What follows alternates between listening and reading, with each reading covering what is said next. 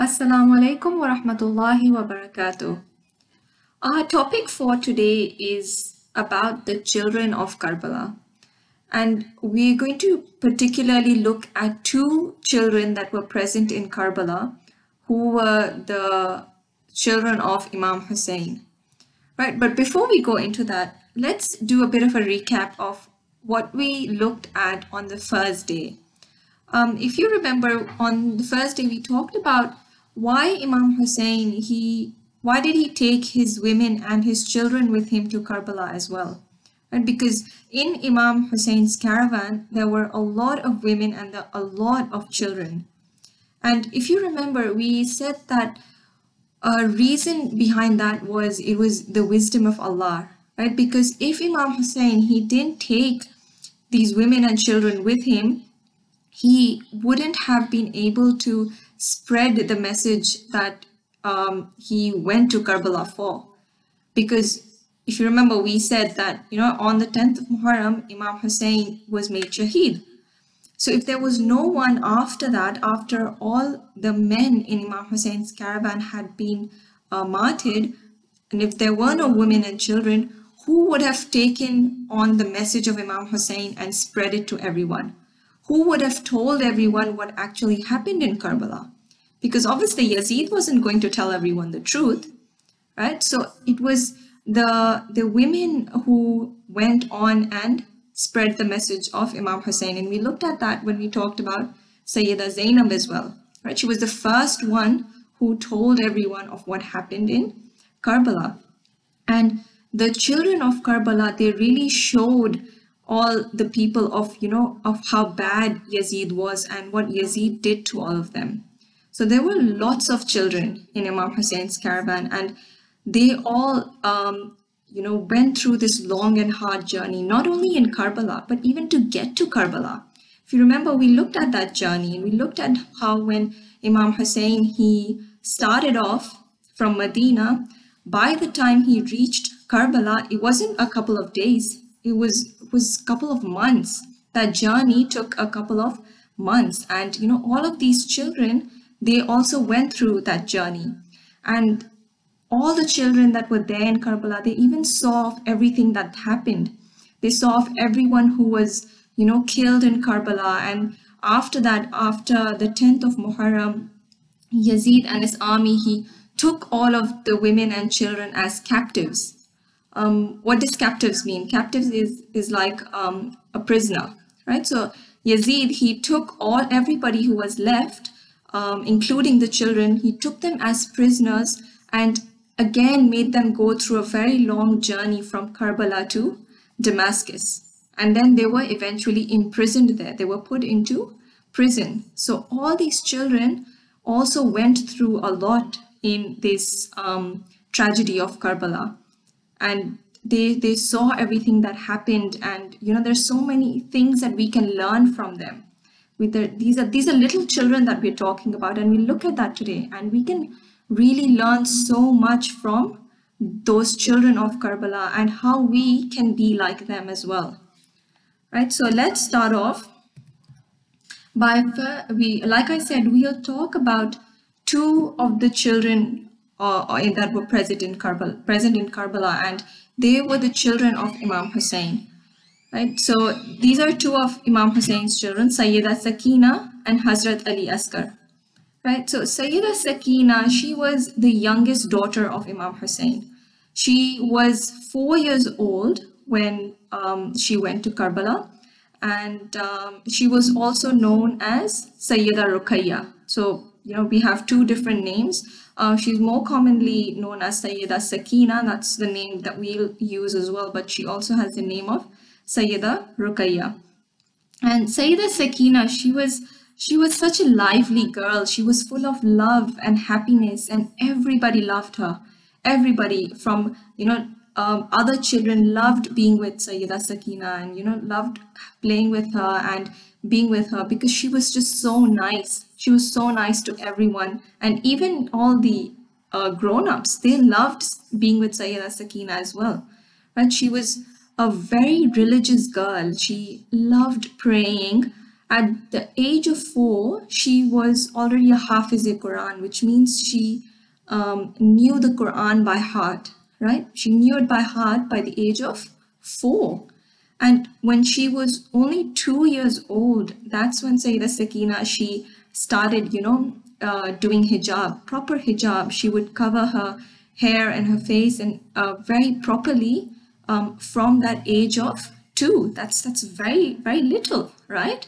Um, but you know, that's who she was. That's what she learned from her family, and she was you know like i said she had learned the whole quran because she was she was so smart she was so clever um, and uh, so you know that's who sayyida sakina was and she also had a baby brother who was called hazrat ali asghar and when imam hussein and you know he left with his family when he left medina hazrat ali asghar was only two weeks old right? Just two weeks ago he was born.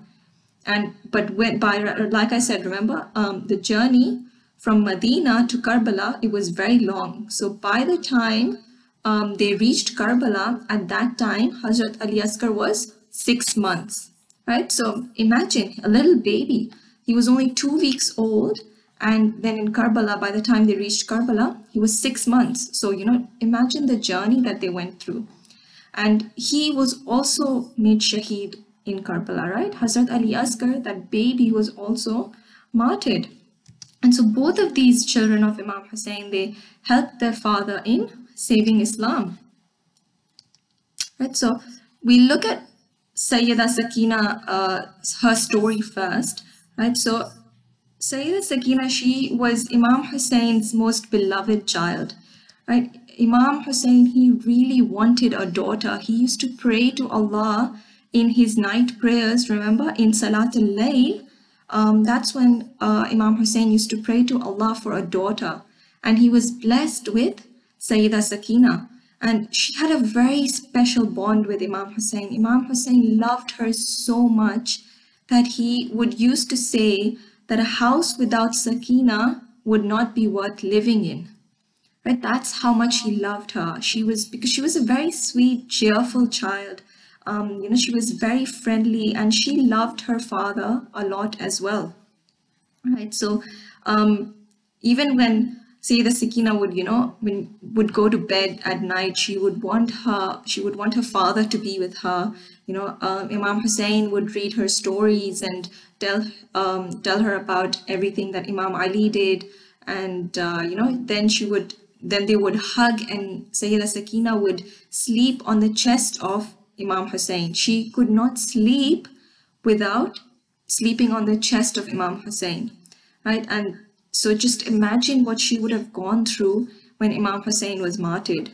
When she lost her father, imagine, she, she could never sleep without her father. And then all of a sudden, at the age of four, she had to live without her father.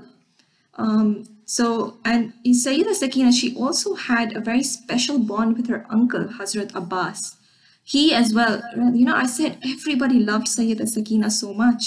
Um, even Hazrat Abbas, he really loved Sayyida Sakina more than he loved his own children, right? If, if you know, if Sakina requested for anything, Hazrat Abbas would make sure that he, you know, he satisfied her request. He gave her whatever she wanted. That's how much he loved her as well. So, um, you know, let's now look at what happened to Sayyida Sakina in, in Karbala. Sayyida Sakina was, she was, like I said, she was, she was so nice. Um, even the other children, they loved her very much because Sayyida Sakina would always be willing to help. You know, she would always give to others before herself. So when in on the 7th of Muharram, when water was cut off to Imam Hussein's camp, you know so nobody in imam hussein's um, camp had access to water anymore there was very little water left at that time sayyida sakina wasn't like oh there's such little water you know i'm just i'm thirsty i'm gonna have it. No she, even when she had very little water she would make sure that you know she was sharing with everybody. She would give to all the other children first um, before she had anything herself. And then eventually when all of the um, water ran out and there was no water at all you know the, the children, they would look at Sayyida Sakina, they would ask her for water because they knew that, you know, if she had water, she would give it to us. So when on the day of Ashura, the children, they had gotten really, really thirsty. And, um, you know, they would go to Sayyida Sakina and ask her for water. So then Sayyida Sakina, she asked her uncle, Hazrat Abbas, to, you know, if he could get some water for her and all of the children. So, you know, Hazrat Abbas, he went, he took Sayyida Sakina's uh, mashk, which is a water bag, as you can see in the picture. It is basically a bag that gets, uh, you can fill water in it. So Hazrat Abbas, he, he takes that bag and he goes to get water for, for all of the children. And um, all the children, when they were waiting for Hazrat Abbas to come back, you know, they, they were waiting with their little cups with um, Sayyida Sakina because they knew that when water comes, um, even though Sayyida Sakina is very thirsty as well, she would not drink the water hers, uh, first herself. She would make sure that she gave it, gives it to everybody and all the other children first. So they were all, all the children were waiting with her. And, um, you know, eventually um, Hazrat Abbas, he was martyred, right? And he couldn't bring water back. He was martyred at the river. And when Sayyida Sakina found out that her uncle, her beloved uncle has been martyred, she never complained of thirst again, right? Never. She never asked um, or complained for, of thirst. And on that day as well, on the 10th of Muharram, that's when her father, Imam Hussein, was martyred as well, right? So Sayyida Sakina, she lost everybody. She loved her father, she lost him, she loved her uncle, she lost him, she lost her brother, um, her older brother, Hazrat Ali Akbar, and uh, her younger brother, Hazrat Ali Asghar as well, which we'll, we'll just look at his story um, after this. And you know, Sayyida Sakina, she lost everything on the day of Ashura. But even then, you know, she she was a little child. She was just four years old, but even then she was so caring about everybody else. You know, she forgot to smile herself, but she would make sure she's consoling everyone. Anybody that she saw was crying or was sad, she would go to them and she would, you know, hug them. It doesn't matter if it was, you know, if it was a lady, if it was a child, she would just go and console them and hug them, even though she was so sad herself as well. And you know, she would try after their day of Ashura, she would really try not to cry in front of her mother because she knew that made her mother really sad. So she would try not to cry in front of her, and she would, uh, rather, she would console her own mother on the because her baby brother Hazrat Ali Asghar was martyred as well on the day of Ashura. Right? Um, so what happened with Hazrat Ali Asghar, like we saw that, you know, water there was no more water in the camp of Imam Hussein. And so when there was no water, so there was no milk for Hazrat Ali Asghar as well, right? So he had no milk, he was a baby. And we know that babies, they don't eat food, they only drink milk, right? So there was no milk and Hazrat Ali Asghar was really, really thirsty and hungry as well. So Imam Hussein, he, what he um, did was he took Hazrat Ali Asghar to the army of Yazid and he you know he showed the army of Yazid the baby. And he you know the Hazrat Ali Asghar was in his arms and he said to the army of Yazid you know see how thirsty my Asghar is. His lips are dry. He can hardly open his eyes. You know he's a little baby and he's he hasn't been given anything. So you know if you can he asked the army of Yazid can you give him some water? And all the people who were on the army of Yazid, some of them, when they saw Hazrat Ali Asghar, they started to get really, um, you know, they started to cry and feel really sad for um, for that little baby. But then one of, um, you know, the leader of Yazid's army, he says to um, this person who's called Hurmala, he said, you know, to stop uh, you know, stop what Imam Hussein is doing and, you know, shoot an arrow at, at the baby. And that's what Hormala did. He shot an arrow um, to baby Ali Asghar and the arrow hit him right in the neck and Hazrat Ali Asghar was martyred. All Imam Hussein was asking was for water for the baby and instead that's what Yazid's army did. and you know the arrow hit Hazrat Ali Asgar and he and he passed away in the arms of his father. So on that day, you know, Sayyida Sakina, she even lost her little baby brother. And um, after that, all of the women and children, they were all taken as prisoners to Damascus, right? So um, they were all taken on this very hard journey again. They were all tied up together in ropes and um, uh, they were they were made to travel in the hot desert, right? So when they were put into prison in Damascus, um, the prison wasn't a good place, right? It was it was it was a horrible place to be in. The prison was very cold at night. It was very hot during the day. Um, you know, it, they they hardly got any food or water. They were so hungry and thirsty a lot of the time. And Sayyida Sakina really missed her father. Like she really, really missed him a lot. And she would she want, would cry so much in the prison and uh, you know like i said it was such an uncomfortable place to be um, they were so hungry and thirsty all the time and but even then in in such a hard um, in such a hard time everybody they they would still you know they would spend their time continuing to you know pray to allah. Um, they would always be offering salah always be making dua. And that's what they did in in such a hard time as well. Um, and uh, one night eventually what happened was it was a night when Sayyida Sakina was really crying a lot and um, you know Yazid he heard the crying and he asked what's happening why is there so much uh, crying going on and uh, you know Yazid is told that Sayyida Sakina is, is very very um, sad she's crying a lot she's missing her father so what Yazid did was he he had the head of Imam Hussein. So he sent the head of Imam Hussein into the prison.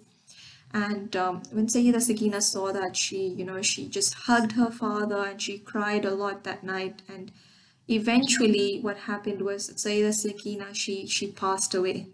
She passed away in that prison in Damascus. And, um, you know, because they were imprisoned there, her family, they buried her in that prison as well. So um, even today, um, the shrine because, because she was you know buried in a prison in the prison of Damascus, her shrine is in Damascus as well. As we also saw that Sayyida Zainab's shrine is in Damascus, right? So that's where um, we all go for ziyarat. We go to Damascus for the ziyarat of Sayyida Sakina and Sayyida Zainab. All right, so we, we looked at the story of um, and the life of Sayyida Sakina, right? She, she passed away at such a young age, at the age of four. And, but she taught us so many things. Um, there's so much that we can learn from her and we should really try and, you know, be like her because she was such a young child, but she was able to be such a beautiful person. Um, you know, we saw that she was a Hafiz Quran that at the age of four she had memorized the whole Quran and that shows us how important the Quran is. And you know we we can learn from that that you know we should try and learn and read the Quran as much as we can. Then we saw that she was she was so brave and patient at all times. You know they they didn't have water a lot of the times. There were so many hard and bad things that were happening to them but Sayyida Sakina, she was always so patient. She never complained of things. She would wait um, for, you know, if she wanted anything. She was she was so brave. Like I said, remember she was um, after her father was martyred, she was tortured so much, uh, but she was always so brave. And she made sure that she was always speaking the truth, right? She was, uh, from such a young age, she was she would always speak the truth. She would always stand for the truth. She knew what her father is doing is the right thing. And she was there to, you know, be there with her, with her parents and uh, stand for the truth and stand for justice because what Yazid was doing was wrong. So she chose to do the right thing. And we also saw that you know, Sayyida Sakina was always willing to help the other children out and she cared for other children. She wasn't selfish. And so that's something we can try to be as well. We try to help others out as much as it, we can. If there's not enough of something, it's not necessary that you know you take it for yourself. If there's not enough of something, you share with others or you offer it to others first, even at home. You know, just sharing with your siblings, um, because that's what Sayyida Sakina did. She shared with all of the children. She gave all of the children, um, you know, water before she drank it herself. And lastly, you know, Sayyida Sakina, she, she never complained to her parents. She always respected and listened to them. She did whatever they told um, her to do. And, you know, this shows us how, how much we need to respect our parents. We should always listen to our parents and, you know, try to be like Sayyida Sakina. All right, so that's our topic for today. And now we'll just move on to doing a very quick activity, right? Just a few questions from what we've what we've learned today. All right, so the first question is it's multiple choice. You have to choose the answer from um, the four options that are given. How old was Hazrat Ali Asgar in Karbala? So when he reached Karbala, how old was Hazrat Ali Asgar? Try to answer answer the question. It's okay to be wrong. Um, you know, just um, try to remember what we talked about. He was he was six months old, right? So when he left Medina, he was two weeks old. When he reached Karbala, he was six months old, and that's when he was martyred as well. Right, next one. Who did Sayyida Sakina ask to bring water on the day of Ashura? Was it Imam Hussein? Was it Sayyida Zainab, Hazrat Abbas, or Imam Zainul Abidin? Who did she ask to bring water? It was her uncle, Hazrat Abbas, right? All right, next question. Sayyida Sakina and Hazrat Ali Asgar were cousins. Is that true or false?